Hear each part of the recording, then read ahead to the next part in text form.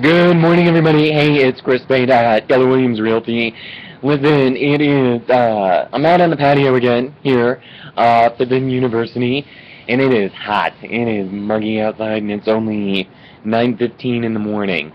Um, but listen, uh, I wanted to tell you and share with you a little story about something that happened yesterday. So, I went to show a property yesterday afternoon at about 4 o'clock, and, um, and it was hot. It was hot inside because the property was vacant and nobody was living there. And when I opened the door, I got there before my clients did, and there was this intoxicating aroma emitting from the house.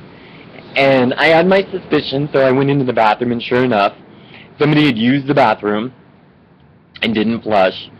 And uh, let's just say it was not uh, pleasant, so I flushed for them.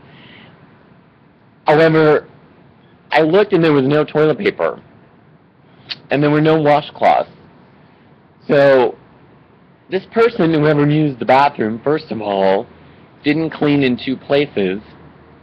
And, uh, yeah, I'm fearful for what they left around the house. So anyway, if you're going into somebody's house and it's vacant and you have to use the restroom, Go to a restaurant. Go somewhere else.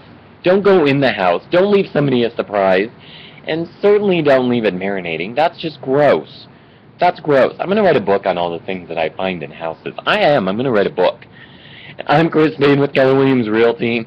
I can be reached at 619-818-2992 or get me on the web at alwayssunnyinsd.com. Hope you have a great day and hold it.